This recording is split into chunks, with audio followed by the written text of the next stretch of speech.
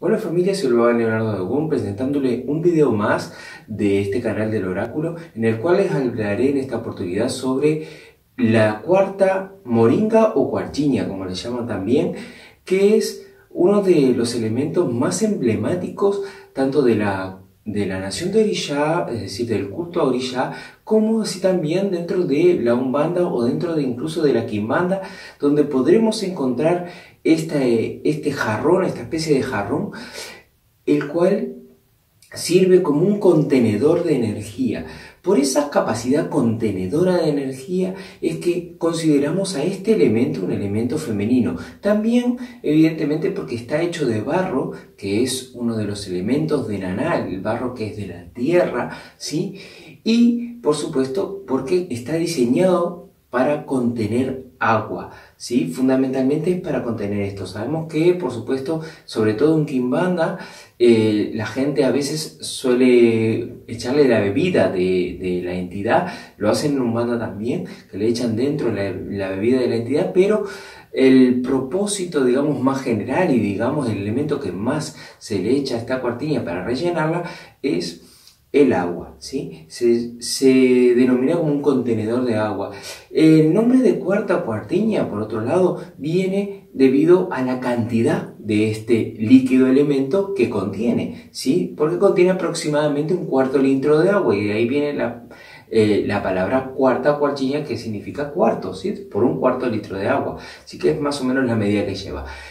Por otro lado, consideramos, como decía, este un elemento femenino aunque en, muchos, en muchas tradiciones, como por ejemplo en el candomblé, la cuarchiña de hombre es de una manera y la cuarchiña de mujer es de otra manera. La de mujer tiene asas y la de hombre no.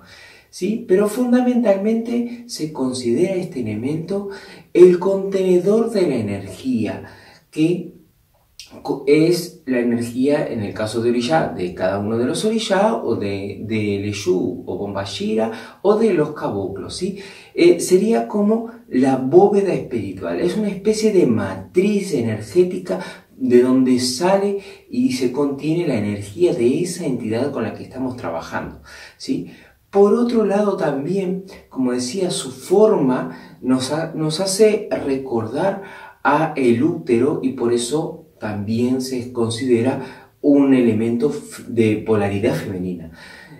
Más allá de esto, la función que, que, se corresponde más a este elemento, porque claro, nosotros tenemos, por ejemplo, en la parte de Orishá está la cuarchiña y está el otá. Entonces cada uno tiene su función muy distinta. ¿sí? En la parte también de, de Umbanda se, se tiene la cuarchiña y se tienen otros elementos más. En la parte de Kimbanda también. Entonces, podemos entender que la función de este elemento, aparte de ser un contenedor de energía y que podemos utilizar este líquido como parte del movimiento de energía, que algunos este, lo utilizan de diferente manera, ¿sí?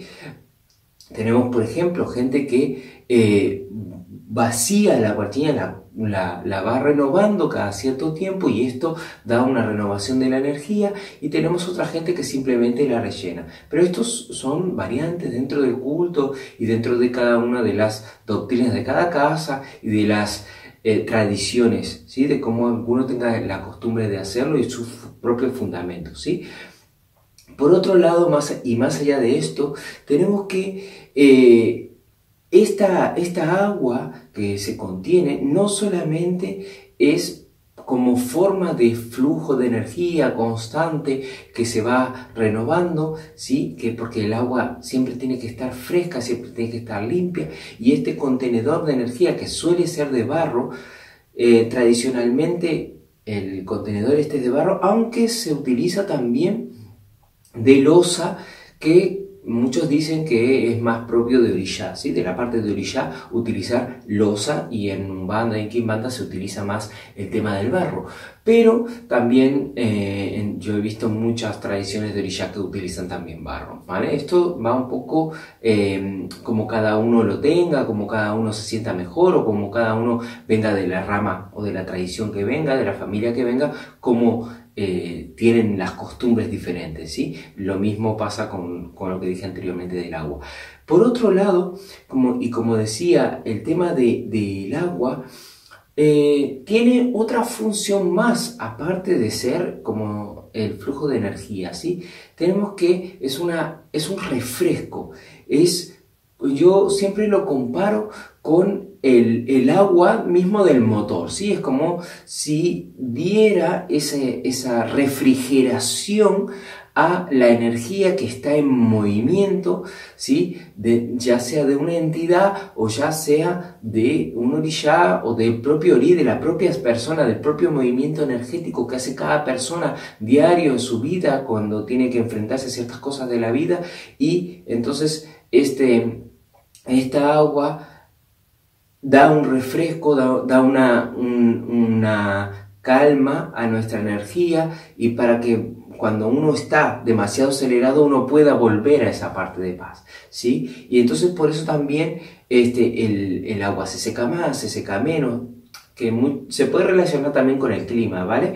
Pero sabemos bien que más allá del clima, los que tenemos varias cuartillas sabemos que una se vacía más, la otra eh, nunca se vacía, por ejemplo, y todo así, y esto corresponde a los diferentes tipos de trabajo. También larga ciertos distintos olores, eh, una está más sucia, la otra está más limpia, y todo esto son cosas a observar y a tener en cuenta para saber cómo trabaja más una entidad o cómo trabaja menos, ¿sí? Referente a esto que decía, a esta refrigeración, a este flujo constante de energía y vínculo que tenemos entre las personas que somos los que movemos más la energía y la propia energía de esa entidad que está ahí trabajando y haciendo de vínculo. Hay cierta trilogía así entre la persona, el, el, la cuarchiña o el otá, la imagen o todo lo que vincula a, la orilla físicamente la materialización de, la energía de orilla o de ese, de ese espíritu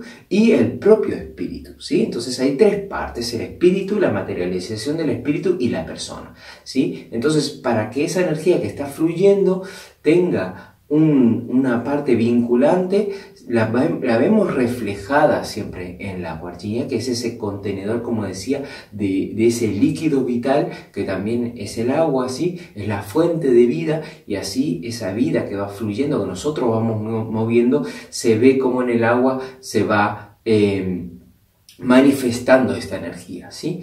Bien, tenemos también que eh, dentro de, de esta cuartilla, eh, ponemos en algunas tradiciones una piedra, en otras unos bucios, en otras ponen alguna otra una semilla o alguna otra cosa así para intensificar la energía, para, para eh, que esa energía sea la que, la que se está moviendo, ¿sí? Porque obviamente si es una, una piedra o nota, esa pequeña piedra está vinculada a la energía de esa, eh, que se está moviendo, la energía de ese espíritu, de ese orilla, de ese espíritu de la naturaleza, de ese espíritu desencarnado.